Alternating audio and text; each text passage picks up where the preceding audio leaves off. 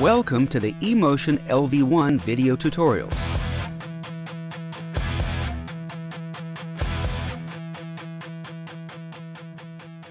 eMotion LV1 is part of a network that consists of a host computer, an Ethernet switch, I.O.s, and a server. All I.O. devices that are directly part of this network synchronize their clocks using Sync over Ethernet, which is usually called SOE. In any digital network, one device must be the clock master. When you begin assigning I.O. devices to the mixer, the first device assigned is, by default, the SOE master. All others will be assigned as slaves. You can make any I.O. device the SOE clock master by using the Set Master menu item on the device rack slot. The device's position in the rack or the physical location of the hardware are unimportant when assigning clock master status. The SOE clock master sets the sample rate for all devices in the system. Everything locked to SOE will adjust to that sample rate. But the clock master doesn't necessarily determine what that sample rate will be. That's ruled by the sample rate master. The sample rate master can be the eMotion LV1 software or another system that's providing clock. There are two drop-down menus that control how sample rate is set. This menu controls whether the eMotion LV1 mixer is the sample rate master or a slave. It determines how the sample rate of the whole system is established. When the eMotion LV1 software is the sample rate master, this menu will tell the clock master how to set its sample rate.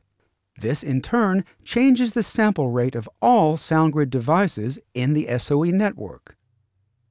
If the SOE clock master is locked to another source that has a different sample rate than the one requested, it may not be able to comply. It will check all of its external clock sources, such as AES, SPDIF, or word clock, looking for the sample rate that matches the sample rate master's request.